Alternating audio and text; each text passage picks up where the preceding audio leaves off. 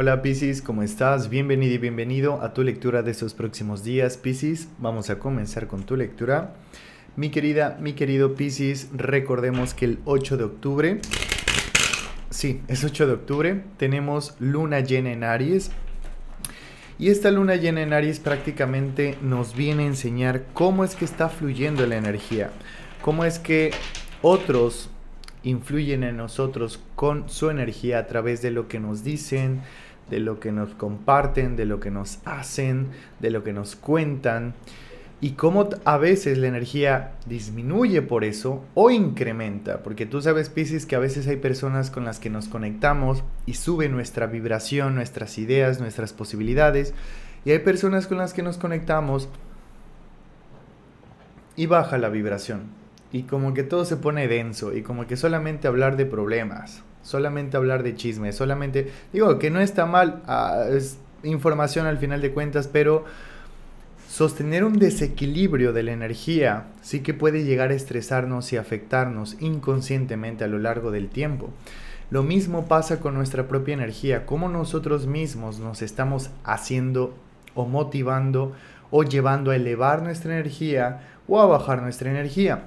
¿Por qué la luna llena en Aries quiere que aprendamos todo esto?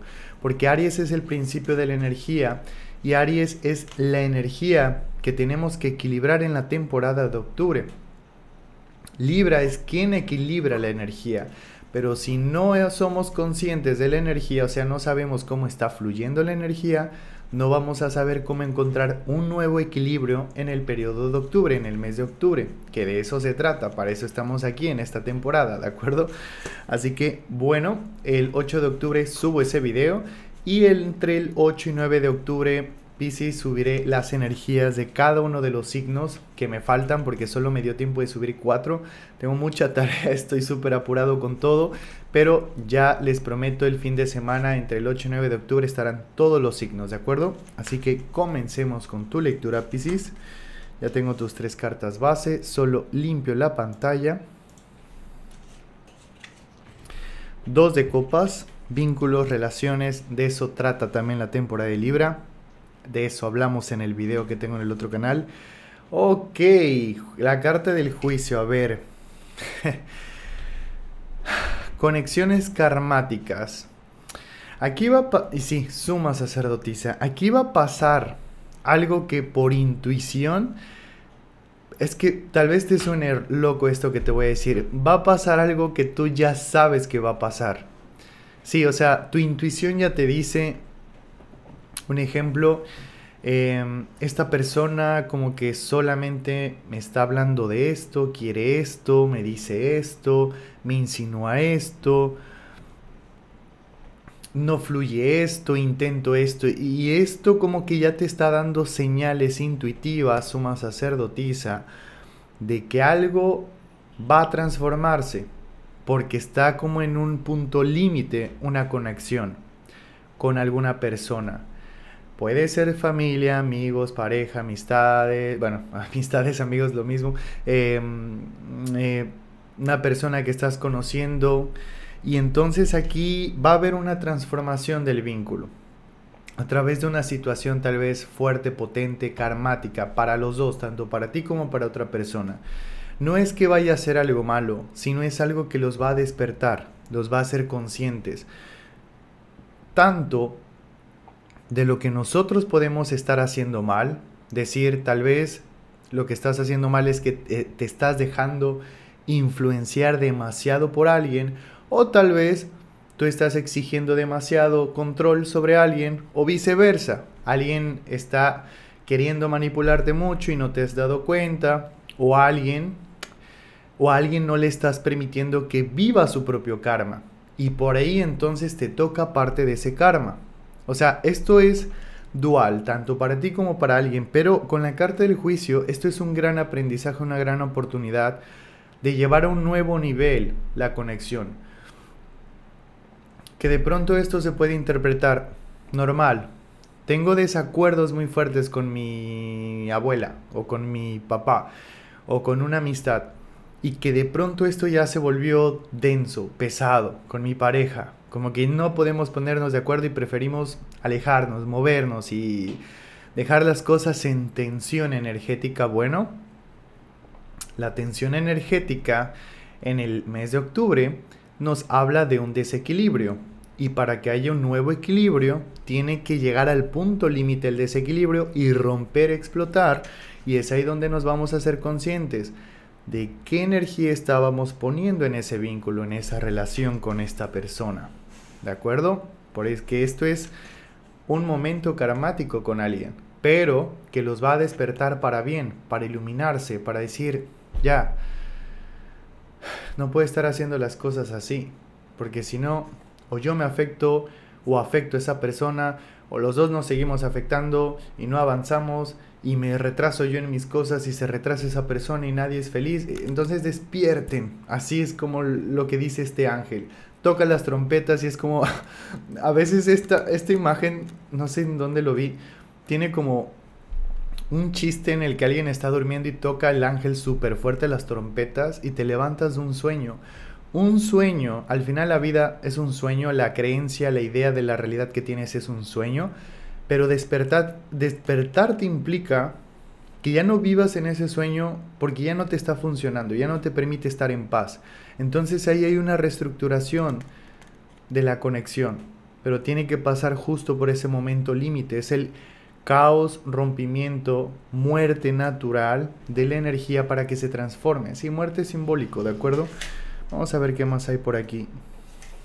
Rey de bastos y esa energía esto es sabiduría para las dos partes, Piscis. Mira que si es algo con exparejas, que si es con una amistad que la verdad sí fue súper duro el proceso hace tiempo, si es con alguien en la familia que dices es que no, no puedo perdonar, no puedo resolver, no quiero volver a equivocarme, al final ese momento potente de, de energía que se generó para bien o para mal, va a generar sabiduría para todos. O sea, esto va a ser un momento importante para tu vida en el que la energía se vuelve conocimiento para saber entonces ser más tal vez responsables emocionalmente, responsables con las consecuencias de nuestras decisiones, actos.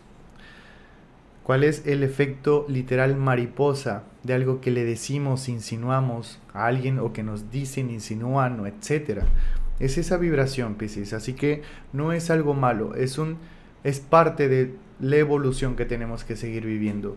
Vamos a ver qué más hay por aquí con la carta del juicio. Ok.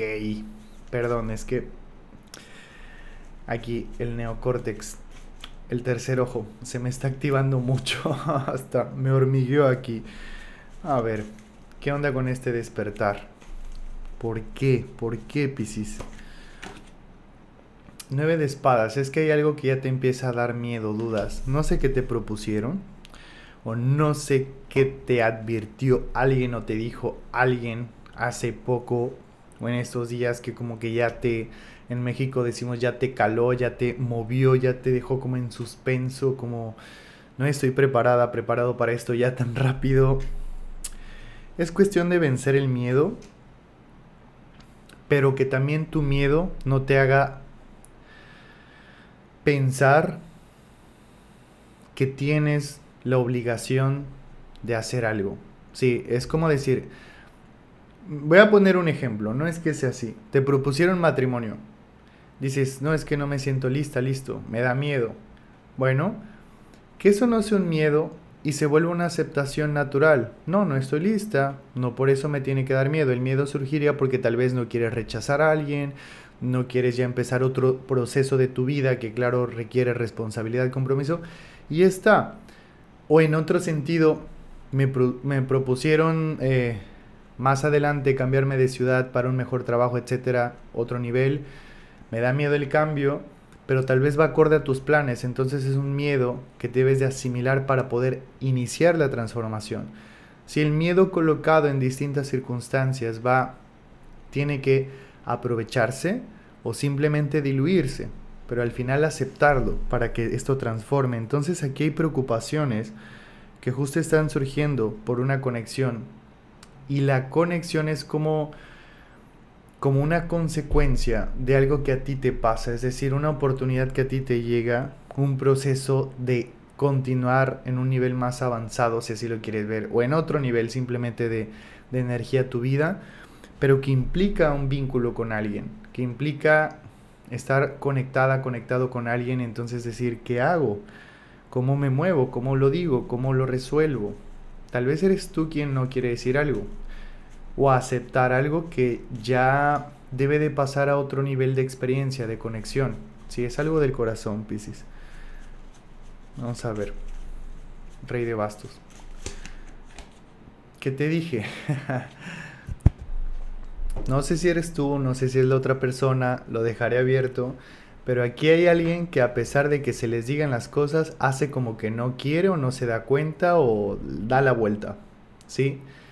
Eh, esto es la energía de alguien que quiere, pero no lo dice, no lo acepta, no lo deja fluir y solo escucha y como que hace que no pasa nada. ¿Sí? Pero aquí hay alguien que tiene el deseo de guiar, de orientar, de hacerle ver las cosas de otra manera a alguien. Si este eres tú la persona que quiere intentar hacerle ver las cosas de otra manera a alguien para clarificar, esmérate.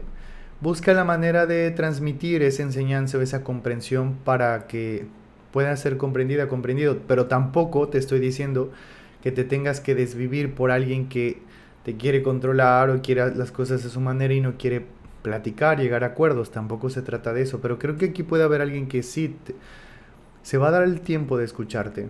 Genera ese estado de calma, literal, genera esa vibración, ese estado de decir, hey, podemos platicar tranquilos, me pasa esto, me incomoda esto. Y puede también que sea la otra persona que evoque esto. Pero hay dudas, hay miedos. Si aquí algo en octubre, o sea, de octubre para noviembre, que en noviembre ya entramos en, la temporada de Escorpio, que es en el tarot es la carta de la muerte. Un ciclo muere, finaliza y empieza otro. Hay una transformación. ¿Por qué se da la transformación? porque ahora tenemos un nuevo equilibrio en nuestra vida. Libra, encontrar el nuevo equilibrio, pero un montón de cosas se van a desequilibrar. Y ahora que estamos en el nuevo equilibrio, ya ok, ahora me conecto de otra manera, soy de otra manera, estoy con otros de otra manera, me siento de otra manera. obviamente de nuevo me tengo que equivocar en este nuevo equilibrio porque es como cuando aprendes algo nuevo, a gestionar un equilibrio nuevo, una balanza nueva, te cambiaron la balanza pues de Libra ya ahí te vas a ir transformando, que eso se va a dar en la temporada de Escorpio. Y bueno, es este proceso. Y en tu caso está siendo muy fuerte relacionado a ciertas personas que quieres, que aprecias, que estimas. Sí, no pasa nada, Piscis, tú tranquila. Sí, Piscis, es que date cuenta, algo va a cambiar con alguien. O sea, o tú le vas a generar, que te dije, el entendimiento a alguien, o alguien te va a generar un entendimiento distinto para llegar a un nuevo equilibrio. No sé, va a cambiar el tipo de relación que tienes con tu pareja para mejor, o con tus amigos para mejor, más sanos, más equilibrados, más estables, o con tu familia, personas en el trabajo, algo que se tiene que llegar a la comprensión, a la reflexión, a la integración. Sí, o sea, ya estuvo bien que vemos todo lo que está mal, todo lo que es posible que puede ser mejor, pero entonces hay que equilibrar las energías. ¿Qué podemos hacer? Aquí va a haber mucha disposición, Piscis. Va a haber mucha disposición. Yo lo que siento en tu lectura es que tú vas a tener la fortaleza, la energía de iniciar esta proposición o esta propuesta. Proposición está bien dicho. No me acuerdo. Pero tú, eh, tú vas a ser como el iniciador, el iniciador de proponer un cambio, una visión. Lento, ¿sí? Lento porque va a haber de todo, o sea, va a haber tanto personas, si esto es, imagínate en el trabajo y dices, oigan, la verdad es que esto se puede hacer mejor así, nos vamos a ahorrar tiempo, dinero, recursos, etcétera, y vamos a llegar a más personas. Normal, personas que van a tener también miedos, este 9 de espadas, que van a tener dudas, que lo van a rechazar, pero personas también que lo van a entender, entonces llegar también al equilibrio, Tú tienes una respuesta muy sabia, Piscis. Y mira, te lo estoy diciendo en el número 333 y qué loco me aparece una persona, eh, ¿cómo se llama? Este, recibiendo la energía del sol, ¿eh? Ojito, bueno, ya no se ve el 3, sí, ahí se ve Son las 3, 3 de la mañana, siempre grabo esta hora. Y cuando aparece cuando estoy hablando del rey de bastos, que es energía, sabiduría, el entendimiento, me ilumino. Y lo tienes también en la base. Entonces, Pisces, por ahí hay una señal, a ti te toca una misión importante eh, de tu círculo social, familiar, de amistades, no sé dónde sea, pero de revincular de una manera distinta. Tal vez tú vayas a ser quien vaya a proponer una reunión, una reconexión, algo, algo, Pisces. 8 de copas. Es que aquí esto es porque se siente nostalgia de ciertos tiempos. Sí, como decir, ¿qué pasará después? Eh, como que hay una proyección a futuro de ustedes de bueno, y, y en dos años, y ya no está esto, ya no estoy aquí o allá, etcétera es como hacer conciencia de mejor traer al momento presente lo que se puede hacer hoy, disfrutarlo y generar un nuevo recuerdo, una nueva vibración, una nueva memoria. Y es como si alguien cerca de ti o tú extrañara algo. Entonces, genéralo, Piscis. Tú tienes aquí la vibración. Sí, algunos signos en el periodo de Libra, uff, van a volar, increíbles. Otros signos, claro, les va a costar más porque equilibrarse desde el sentido de Libra, que es un signo no antropomórfico, o sea, no es un animal, no está representado por un sí, no, por sí, algo vivo, sino es un literal una balanza, un objeto, pero es el objeto que integra las energías. Entonces, para algunos signos es complejo, sobre todo para los signos de, fuego. Pero aquí tú tienes respuestas para este impulso de alguien, para este deseo o para este fuego que está quemando a alguien y decir yo te puedo apagar con comprensión, con entendimiento. Por ahí, por ahí va Piscis. Bueno, perdón si están escuchando los ronquidos de mi perrita, pero hoy sí le toca roncar fuerte, está roncando fuerte. Ok, Pisces, vamos a ver.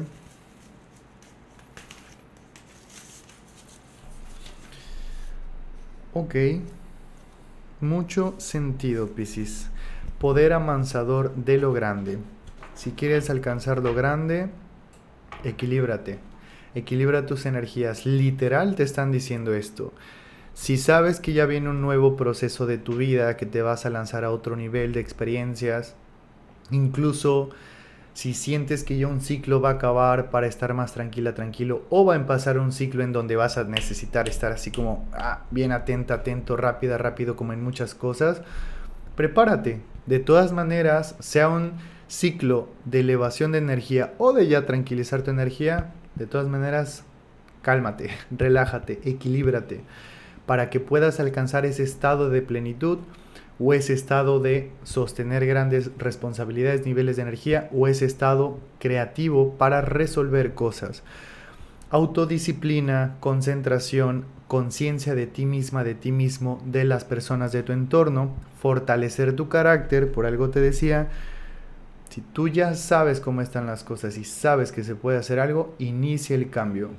Sé rebelde espiritualmente, ¿sí? No, no rebelde como mala onda de destruir y todo.